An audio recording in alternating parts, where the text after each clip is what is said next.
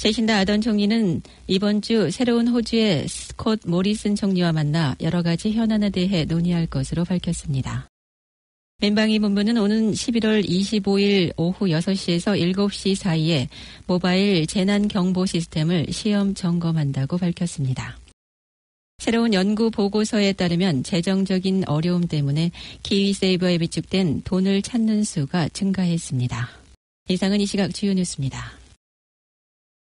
뉴질랜드 뉴스입니다. 제신다 아던 총리는 이번 주 새로운 호주의 스콧 모리슨 총리와 만나 여러 가지 현안에 대해 논의할 것으로 밝혔습니다. 아던 총리는 이번 주 싱가포르에서 열리는 금년도 동아시아 정상회담에 참석해 호주의 신임 모리슨 총리와 처음으로 만나며 양국 간의 관계를 강화하고 여러 가지 문제시되고 있는 사안들에 대해 논의할 예정으로 밝혔습니다. 이번 뉴질랜드와 호주 정상 간의 대담에서 대호주 수출의 제한 요소들과 지역 문제들 또 시민권에 대한 보호와 강제 추방 등 뉴질랜드에 대한 부정적인 조치들에 대해서도 논의할 것으로 예상됐습니다. 동아시아 정상회담은 전 세계 인구의 58%를 차지하는 아시아 국가들의 정상회담으로 아세안 국가 10개국과 한중일 3개국 정상 그리고 미국의 마이크 펜스 부통령과 러시아의 블라디미르 푸틴 대통령, 인도의 모디 총리 그리고 뉴질랜드와 호주 대표 등이 참석하는 것으로 알려졌습니다. 민방위 본부는 오는 11월 25일 오후 6시에서 7시 사이에 모바일 재난 경보 시스템을 시험 점검한다고 밝혔습니다. 민방위 재난관리의 사라 스튜어트 블랙 책임자는 비상시에 대비해 인명과 재산을 보호하기 위한 경보 시스템의 작동을 점검한다고 말했습니다. 이번 경보는 단지 시험 점검으로 지난해 국내 스마트폰 3분의 1 정도가 경보를 받았지만 금년도에는 휴대폰의 절반 정도에게 경보가 전달될 것으로 알려졌습니다. 지난해 10월 평일에 아무런 예보 없이 이른 새벽 3시에 오작동으로 경보가 전달돼 무리를 일으켰던 것으로 알려졌으나 금년도 시험 점검은 저녁 시간에 진행될 것으로 전해졌습니다.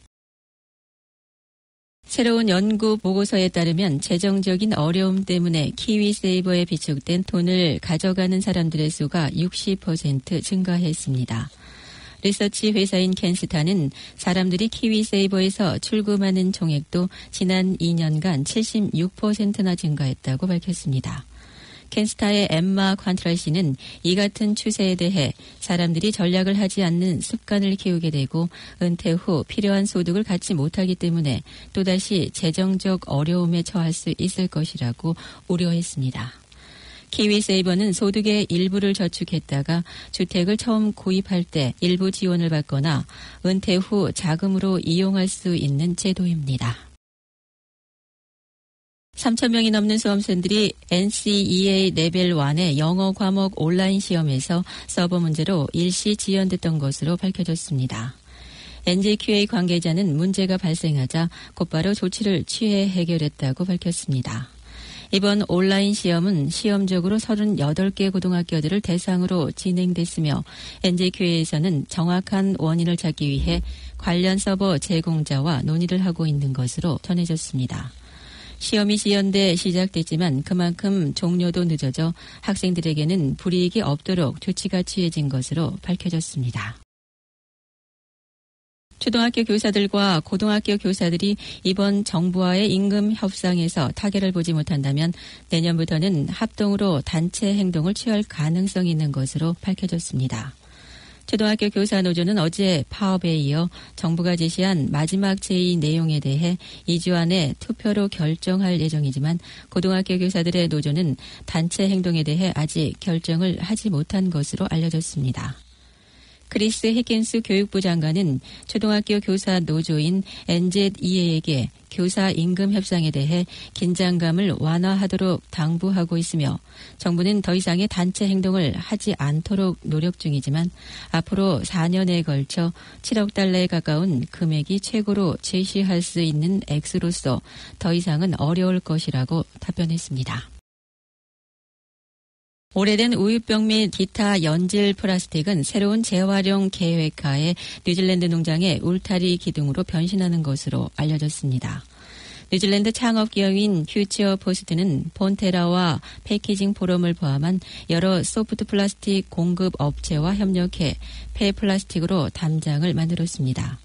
이는 환경 친화적으로 폐우유병을 용도 변경해 농민들이 농장의 지속 가능성을 향상시킬 수 있는 혁신적인 새로운 방법으로 평가되고 있습니다.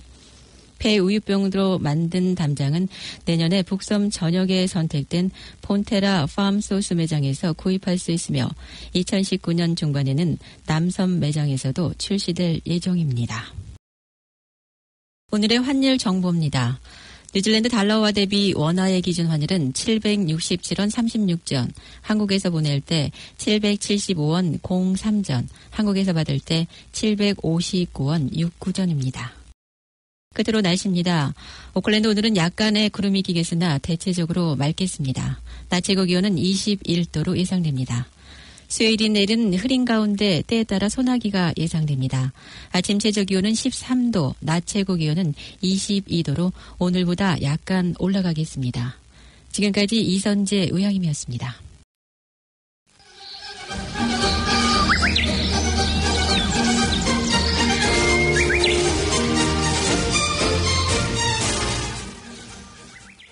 후배야, 있잖아. 내가 몇 가지 파트타임 일을 하는데 하나는 관리직이야. 내가 좋아하는 일이지.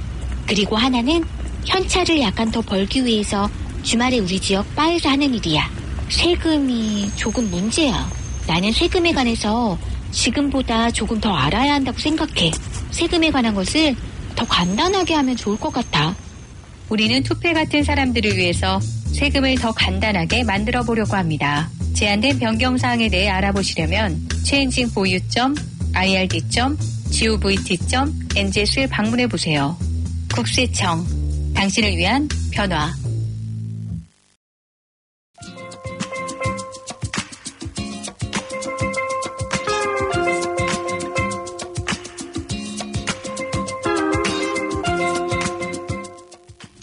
캐시아 게시판입니다.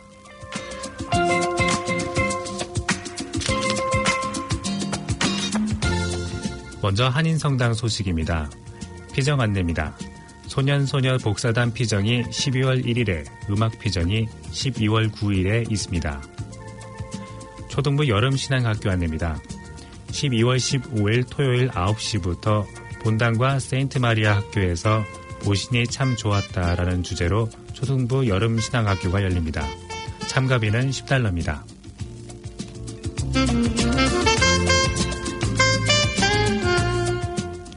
2019 한인 가이드북 안내입니다. 오클랜드 한인회에서는 2019 한인 가이드북을 제작해 무료 배포하고자 합니다. 2019 한인 가이드북에 각종 정보를 주실 광고주께서는 오클랜드 한인회 사무국 전화 443-7000번으로 연락해 주시기 바랍니다.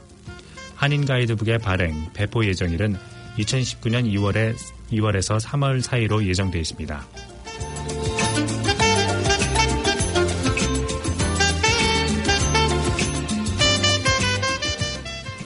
비영리 단체 자립생활센터 안내입니다. 자립생활센터 Independent Living Service는 장애를 가지신 분들과 그 가족분들에게 필요한 도움과 정보를 제공하고 있습니다. 그리고 노인분들이 사고나 질병을 예방하고 자립적인 생활을 할 수 있도록 돕기 위해 다양한 건강 관련 워크샵과 생활 편리 도구를 안내하고 있습니다.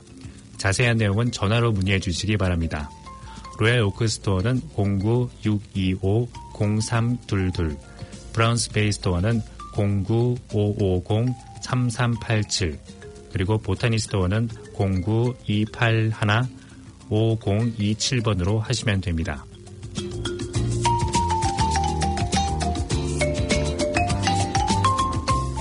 CAB에서 알려드리는 이민성 사무실 업무 안내입니다. 퀸스트리트 280번지에 위치한 오클랜드 시티 이민성 사무실의 customer counter 서비스와 drop box 서비스가 2018년 12월 31일까지만 운영합니다. 2018년 12월 31일 이후에는 20번지 아머샴 웨이 마누카우의 drop box 서비스만 가능하게 될 예정입니다. 지금까지 KCR 게시판이었습니다.